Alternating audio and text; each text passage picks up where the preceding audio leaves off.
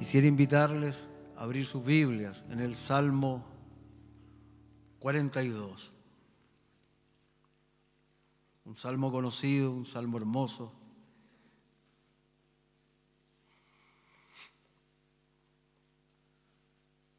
Usted sabía que los salmos fueron recopilados durante 800 años.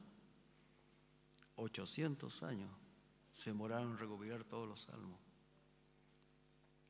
Así que hay que valorarlos. El Salmo 42, verso 1 y 2. Salmo 42. Así dice la palabra del Señor. Como el siervo brama por las corrientes de las aguas, así clama por ti, oh Dios, el alma mía. Mi alma tiene sed de Dios, del Dios vivo. ¿Cuándo vendré y me presentaré delante de Dios? Todos tenemos una sed interna y buscamos saciarla con algo. Tenemos sed de vencer aquello que sabemos que nos daña. Tenemos sed de paz interior. Tenemos sed de propósito en la vida. Tenemos sed de ser perdonados y redimidos. El asunto es que su sed solo la puede apagar Dios. Esto fue lo que reconoció el salmista cuando él dijo, mi alma tiene sed de Dios. Uno vive en una constante sed de satisfacción. La vida se va en esta búsqueda. Federico García Lorca, el poeta y dramaturgo español, dijo lo siguiente, la agonía física, biológica, natural de un cuerpo por hambre, sed o frío dura poco, muy poco, pero la agonía del alma insatisfecha dura toda la vida. El alma nuestra está en una constante búsqueda de reposo. Jesucristo dijo, no solo de pan vivirá el hombre, sino de toda palabra que sale de la boca de Dios. El agua para el alma sigue estando en él ahí encontrarás tú al Dios vivo. En esta tarde puedes encontrar el agua viva que calme la sed de tu alma. Alabado sea Jesucristo. Lo primero que nos dice el texto es que el alma existe. Mi alma tiene sed, dice el salmista. El pensamiento materialista Dice que el alma se interpreta como lo derivado, lo secundario, lo dependiente del cuerpo. Todo se reduce a la actividad psíquica, se reduce a los procesos mecánicos o físico-químicos. El materialismo es creer en la materia. Se piensa que la naturaleza del hombre es solo materia. Lo que se ve, lo que se toca, lo que se siente, eso es lo real. Pero a pesar de estas definiciones, la insatisfacción del alma continúa. Las religiones, por su lado, ven el alma de variadas maneras, pero todas coinciden en la existencia de ella. La Biblia nos revela y nos habla de la realidad del alma. Jesucristo dijo, ¿de qué le sirve al hombre ganar el mundo entero y perder su alma? Usted y yo necesitamos ser saciados y tenemos una sed que solamente la puede saciar un Dios vivo.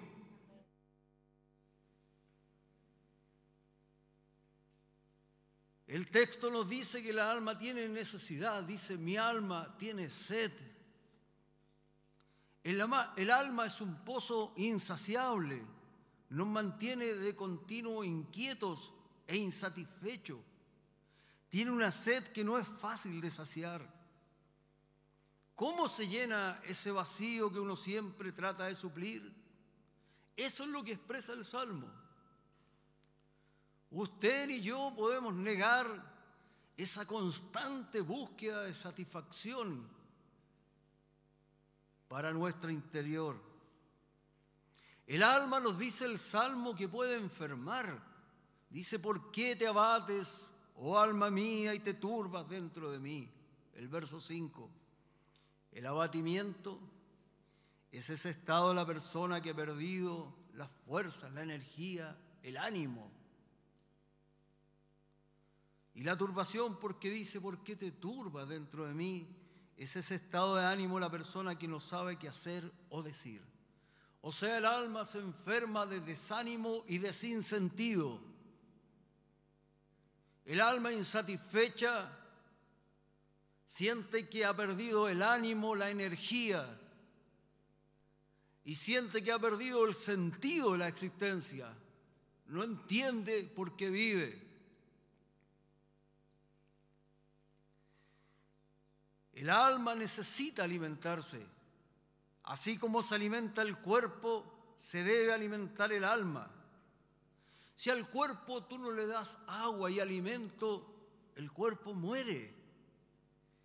Si a tu alma no la alimentas, enferma y nada te logrará satisfacer. Nada. Pero aquí, mediante su Espíritu Santo, está Jesucristo y el salmista decía, yo tengo sed de Dios. ¿Pero de qué Dios? Del Dios vivo. Jesucristo es el Dios vivo. Es el único que puede satisfacer nuestras almas. Alabado sea Jesucristo. Existen muchos intentos falsos por satisfacer la necesidad de nuestra alma. Por ejemplo, desde el punto de vista de la psicología se nos dan muchos consejos.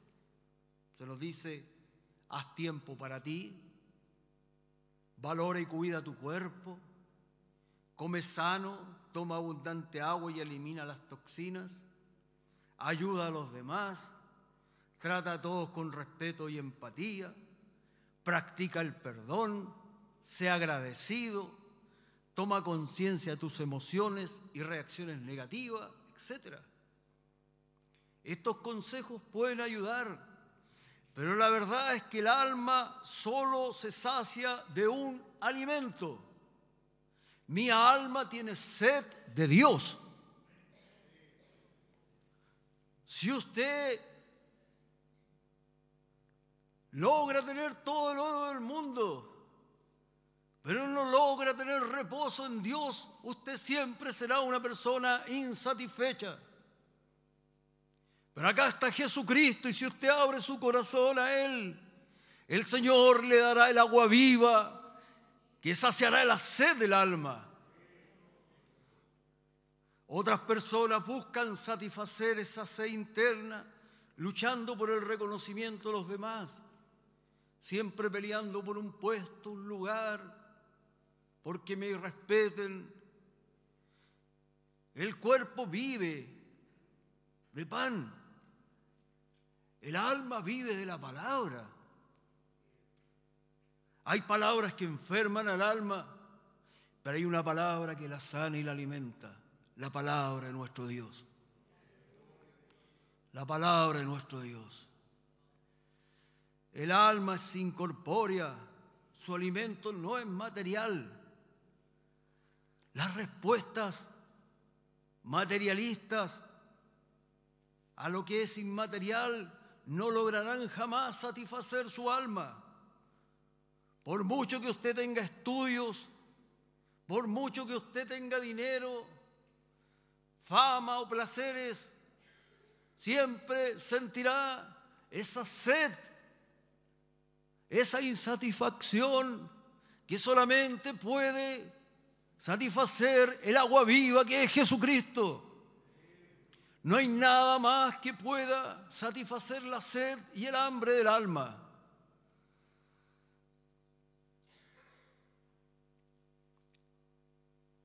usted también debe cuidarse hoy de esta religiosidad superficial que abunda en nuestras redes.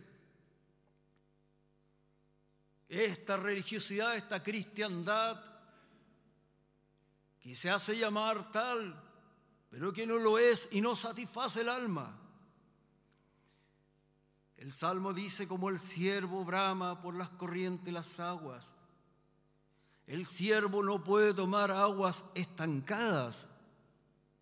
Dice, así mi alma clama por ti, oh Dios. Mi alma tiene sed del Dios vivo, no el Dios estancado, no la religión muerta. Uno necesita tener a Jesucristo vivo en el corazón. De otra forma el alma no se satisface. El alma no se satisface por una religión. El alma se satisface por Jesucristo. La religión actual del espectáculo no sacia el alma. Hoy día todo es espectáculo. La utilización continua de las redes sociales está cambiando al ser humano el cual no alcanza a tener conciencia de la envergadura de ese cambio. Nosotros sin darnos cuenta empezamos a comportarnos en todas las áreas de la vida como lo hacemos a través de las redes sociales. ¿Cómo son las redes sociales? Superficiales. Uno no alcanza a reírse de un meme cuando llega una mala noticia. Uno no alcanza a entristecerse por la mala noticia cuando llega otro meme. Superficial. No permiten la profundidad. La red social se fundó no para unirnos, sino para distraernos. Para distraernos. Una de las ironías más grandes que las redes sociales nos empujan acercarnos a todas las personas que están lejos. Sin embargo, nos alejan de todos los que están cerca. Y justamente Dios dice que el que está cerca es tu prójimo. Una falsa religiosidad. No sería descabellado decir que esta es la generación más distraída y desenfocada de la historia. Las redes sociales Internet, dicen los expertos que están cambiando nuestro cerebro. ¿Puede entenderlo? Porque el hábito que fomenta en nosotros al estar en Internet es el de pensar superficialmente. Y los especialistas dicen que se están eliminando de nuestro cerebro circuitos que nos llevan a usar el pensamiento profundo. De esa manera nos están afectando. Nosotros tenemos una especie de una sed de más y más información y de entretenernos más y más. Y así también se vive hoy día el cristianismo a través de Internet. Se pasa de un predicador en otro predicador, de un mensaje en otro mensaje, y las vidas no cambian y el alma sigue sedienta y el alma sigue con sed. Usted necesita un encuentro diario con el Dios vivo. El Dios vivo. El Dios que no le va a obligar a poner una carita feliz, sino que el que va a alegrar su corazón. El Señor le va a poner la alegría en el corazón. Alabado sea Jesucristo. hemos, estamos siendo transformados. La red social no nos une, nos distrae. Y usted ve con cuánta frecuencia uno se distrae al leer la Biblia o al escuchar un sermón. Seguramente su mente ya ha ido dos veces a la cocina de su casa en este momento.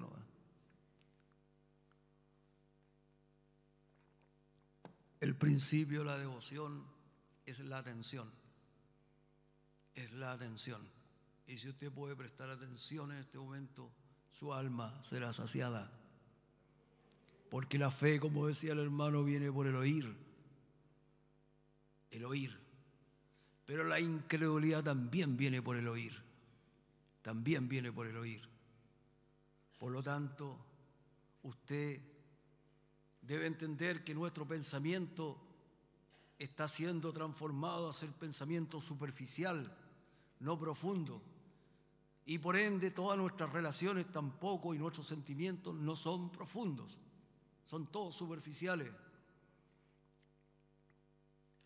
El cristianismo enseña que puedes vivir con gozo y una vida plena solamente si tú le das tu atención real a Dios. Si no, no vas a poder. Por eso que si uno busca saciar su alma por escuchar uno y otro y otro mensaje, su alma seguirá seca, árida. Debemos vivir, como dice las escrituras, y volver a lo esencial. Nosotros vivimos un tiempo de espectáculo, debemos volver a la intimidad. En un tiempo de la rapidez y la velocidad debemos volver a la quietud. En un tiempo del ruido y la sobreexposición debemos volver al silencio y a la soledad de Dios. En el tiempo en que todos queremos hablar, hablar, opinar de todas las cosas y dar nuestra opinión, debemos aprender a volver a escuchar la voz de Dios. Como decía un hombre, el ser humano tarda dos años en aprender a hablar y 65 en aprender a callar.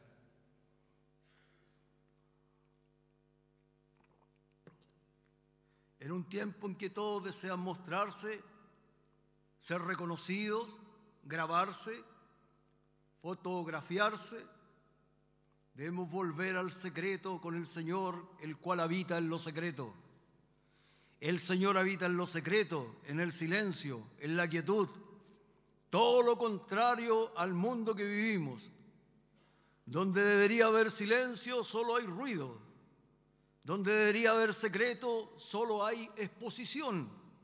Donde se requiere quietud, solo existe agitación y velocidad. Y como resultado, el alma está sedienta, el alma está insatisfecha y las vidas están desanimadas y sin rumbo. Y aunque usted puede decir, yo soy un creyente, un cristiano, usted siente la insatisfacción del alma. Porque el único que puede satisfacer el alma es el Dios vivo. Es el Dios vivo. No son los ritos, es el Dios vivo. No son nuestras costumbres religiosas, es el Dios vivo. El único que puede llenar el alma, el agua viva, correntosa, es el agua de Jesucristo vivo.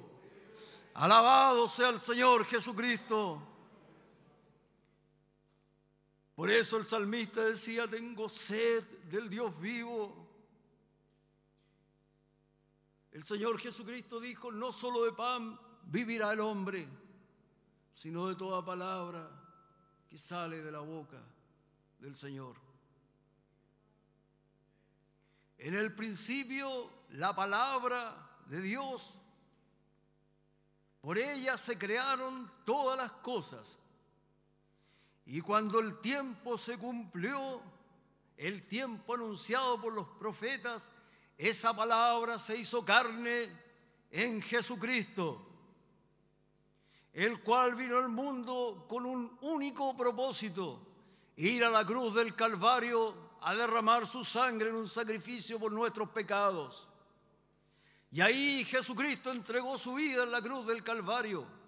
Pero Jesucristo no quedó en una tumba. Se levantó de los muertos al tercer día. El salmista dice que tiene sed del Dios vivo. El Dios vivo es Jesucristo. El Dios vivo es Jesucristo. Él está vivo. El que no va a Él no va a saciar la sed del alma. Su espíritu es el que sacia la sed del alma. El Evangelio de San Juan nos dice lo siguiente en el capítulo 7. En el último y gran día de la fiesta, Jesús se puso en pie y alzó la voz diciendo, si alguno tiene sed, venga a mí y beba. El que cree en mí, como dice la escritura, de su interior correrán ríos de agua viva. Esto dijo del Espíritu que habían de recibir los que creyesen en Él. Aleluya, el Espíritu Santo de nuestro Dios. Mi alma tiene sed, mi alma tiene sed del Dios vivo, de lo auténtico. No sé si a usted le pasa, pero yo estoy cansado de las mentiras que salen en las redes sociales. No sé si a usted le pasa, pero yo no quiero ese estilo de vida. Cuando tú vas a un restaurante a servirte algo y ves un grupo de personas en la otra mesa, comiendo con sus caras largas, comiendo con unas caras de tristeza, pero de pronto alguien dice, tomémonos una foto. Y colocan ahí la selfie y todos cambian su cara. Se toman la foto y vuelven a la cara de tristeza. Yo no quiero esa mentira. Yo quiero al Dios vivo. Yo quiero realmente tener la alegría en el corazón. No sé si usted. Jesucristo es el Dios vivo. Jesucristo es la verdad. Aún las páginas, las páginas web de las iglesias muestran tanta falsedad. Un pastor con razón decía, no voy a seguir mirando las páginas web de otra iglesia, porque la mía es la única que tiene problemas. La única que tiene problemas en mi iglesia, así que muestran solamente un mundo ideal. No muestran el sufrimiento, no muestran nada de eso. No sé si usted quiere ese mundo. El salmista dice, yo tengo sed, pero no de cualquier Dios, del Dios vivo. Yo quiero algo auténtico. Yo no quiero entrar a un culto y salir de él y decir, hoy estuvo la presencia de Dios maravillosa y mi vida no cambia. Yo tengo sed del Dios vivo, el Dios que transforma. Alabado sea Jesucristo. El que tiene sed, venga a mí y beba. Lo que enseña el Evangelio de Juan es cómo el Señor, por medio de la fe, trae el cielo a nuestras almas, de manera que estemos siempre satisfechos en Él. El Dios vivo que sacia la sed del alma. ¿Quién nos hace esta invitación? No es tan obvio decir Jesús, porque si nosotros queremos entender el carácter real de esta invitación, tenemos que entender el contexto en el cual él habló. El apóstol Juan nos dice que en el último y gran día de la fiesta se levantó Jesucristo a decir esto. Era la fiesta de los tabernáculos o las tiendas. ¿Y qué decía esta fiesta? Decía, en tiendas habitaréis siete días. Todo natural de Israel habitará en tiendas para que sepan vuestros descendientes que en tiendas hice yo habitar a los hijos de Israel cuando los saqué de la tierra de Egipto. Yo Jehová vuestro Dios. Levíticos 23. El Señor estableció esta fiesta para que Israel la celebrara al entrar en la tierra prometida ellos debían recordar la fidelidad de Dios al redimirlos de Egipto y proveer para todas sus necesidades en el paso por el desierto. Les dio maná del cielo y les dio agua, la cual brotó, dice, de la roca de Oret, para que ellos no tuvieran hambre o sed. Esta fiesta recordaba la fidelidad del Señor, la fidelidad del Señor. Esta fiesta duraba ocho días, desde el día de reposo, el séptimo mes, en la mitad del mes, desde el día de reposo hasta el otro día de reposo. El octavo día era el segundo día de reposo.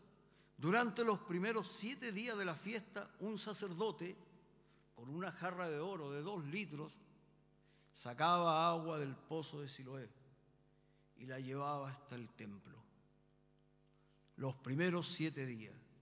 En el último día, el sacerdote no llevaba agua. En el último día lo que ocurría es que solamente se hacían sacrificios. Se sacrificaba un toro, un cordero y siete, perdón, y un carnero y siete corderos de un año. Al despedirse la fiesta el octavo día, ya se habían levantado las tiendas de campaña que les recordaban el tiempo en el desierto y ahora no había agua, porque ellos ahora ponían su confianza en que Dios le iba a seguir dando abundante agua, lluvias y prosperidad. Y este era el símbolo. El fundamento de esa bendición no eran las buenas obras del pueblo. Y por eso que en el último día, el octavo, se hacían un sacrificio de siete corderos de un año, para que ellos entendieran que iba a venir el sacrificio perfecto, el cual iba a limpiar sus pecados e iba a posibilitar de que Dios viniera a morar en tiendas con ellos. ¿Qué tienda? Ellos mismos, el ser humano, este tabernáculo, ese tabernáculo. Dios así estaba llamando a Israel a levantar su mirada a una esperanza mayor por medio de estos ritos una esperanza que vendría en el reinado glorioso del Mesías. Esta esperanza tenía que ver con la satisfacción de su sed espiritual. Dios había prometido quitar por medio de un sacrificio sus pecados y morar en ellos y así saciar la sed del alma. Este era el rito. Piensen, el salmista anticipaba lo que iba a venir cuando dice, hay un río cuyas corrientes alegran la ciudad de Dios. El profeta Joel también lo anticipa y dice, y sucederá que en aquel día los montes destilarán vino dulce, las colinas mararán leche, y por todos los arroyos de Judá correrán las aguas. Brotará un manantial de la casa del Señor y regará el valle de Sittim. ¿Quién es manantial? ¿Quiénes son esas aguas? Zacarías profetizó sobre este día y dijo, en aquel día sucederá que brotarán aguas vivas de Jerusalén. El Señor mismo es el agua. Las promesas es que el Señor habitará en medio de su pueblo y estará con su pueblo. El profeta dice, y el Señor te guiará continuamente, saciará tu deseo en los lugares áridos y dará vigor a tus huesos. Serás como un huerto regado y como un manantial cuyas aguas nunca faltan. Esas aguas que sacian la sed del alma, dice que brotarán de tu interior, es el Espíritu Santo que Él pondría en nosotros. No hay nada material que pueda saciar el alma. Por más que tú te esfuerces, y no es que sea malo. Cuando el alma está saciada, todo toma sentido. Todo toma sentido. Todo es alegría. Pero si el alma no está saciada, nada tiene sentido. Nada. En este día en el octavo, el principal de la fiesta, levantó su voz el Señor y dijo en presencia de todo el pueblo que estaba celebrando, si alguno tiene sed, que venga a mí y beba. El que cree en mí, como ha dicho la Escritura, de lo más profundo su ser brotarán ríos de agua viva. ¿Qué está diciendo? Jesucristo está diciendo que todas estas promesas de las Escrituras ahora están cumpliendo en Él. Él es Jehová con nosotros, Él es el Hijo de Dios, Él es el último y más perfecto sacrificio que borra para siempre nuestros pecados. Él es el tabernáculo de Dios con nosotros. Él es que va a dar la posibilidad de que el agua viva entre en nuestro ser. Jesucristo. Alabado sea el Señor. Jesús dice, si alguno tiene sed, noten que Jesucristo no limita la invitación. O sea, Él invita a los soldados que lo perseguían, invita a los fariseos que querían matarlo, invita a todos. Todos están invitados. El que tiene sed, venga a mí y beba. Gloria a Jesucristo. El Apocalipsis dice lo siguiente, y el Espíritu y la esposa dicen, ven. Y el que oye diga, ven. Y el que tiene sed, venga. Y el que quiera, tome del agua de la vida gratuitamente. Gloria al Señor. El agua viva se derramó después del sacrificio de Cristo el agua viva del Espíritu Santo que llena y sacia nuestras almas. La única condición para ser saciado es tener sed. No tienes que traer contigo algo para dar a cambio, puedes saciar tu sed gratis. El profeta dijo, a todos los sedientos, venid a las aguas y los que no tienen dinero, venid, comprad y comed. Venid, comprad sin dinero y sin precio. Jesucristo, por su obediencia, su obediencia en su sacrificio, ya pagó el precio. Por eso dice el Apocalipsis, hecho está. Yo soy el alfa y la omega, el principio y el fin. Al que tiene sed, yo le daré gratuitamente de la fuente del agua de la vida. Gloria a Jesucristo. ¿Quién no tiene sed? Si reconoces tu sed, el agua que la sacia es gratis. ¿Comprendes tu desesperada situación? ¿Comprendes? ¿Comprendes que no hay otra forma? ¿Comprendes que no hay otra manera que acercarse al Dios vivo? ¿Comprendes que la religión muerta no sirve? ¿Comprende que nuestros títulos, nuestro dinero y todo no sirve? Venga a mí, dijo el Señor. Debes de reconocer que solamente en Cristo encontrarás paz, reconciliación, perdón, él no está aquí físicamente, pero Él está aquí a través de su Espíritu Santo, el agua viva, el agua, el agua que saca la sed de nuestra alma. Solo tienes que rogar a Él que sacie tu sed. Debe darle la espalda todo aquello en donde ha puesto su esperanza y venir a Cristo. Y el Señor saciará su sed. Venga y beba, dijo el Señor. De nada te sirve saber que hay agua cuando tienes sed y no la tomas.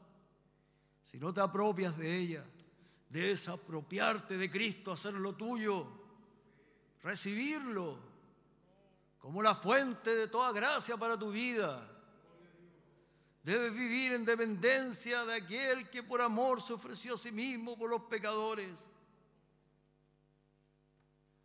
Tener sed, venir y beber es igual a creer en Él. El Señor explica esto en el siguiente versículo cuando dice, el que cree en mí, como ha dicho la Escritura, de lo más profundo su ser brotarán ríos de agua viva. Este es el nuevo templo que habla Ezequiel cuando dice que del templo salían manantiales de aguas vivas. El templo es el cuerpo de Cristo. Y si usted pertenece al cuerpo de Cristo, de su interior brotarán manantiales de agua viva. Y todo lo que toque esa agua vive, da fruto, es bendecido. Usted va a ser bendición para muchos. porque usted brotará el agua viva, porque usted es del cuerpo de Cristo. Gloria a Jesucristo. El Señor al llamarnos nos está llamando a tener comunión íntima con Él por medio de su Espíritu Santo.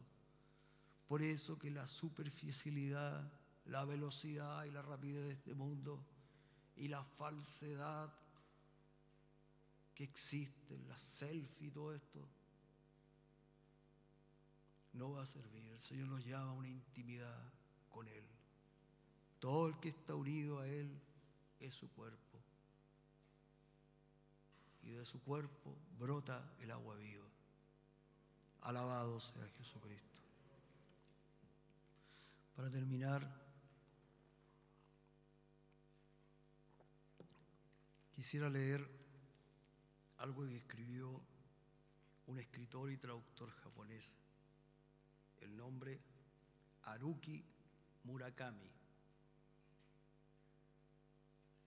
Dice lo siguiente, durante toda mi vida he tenido la impresión de que podía convertirme en una persona distinta de que yéndome a otro lugar y empezando una nueva vida, iba a convertirme en otro hombre.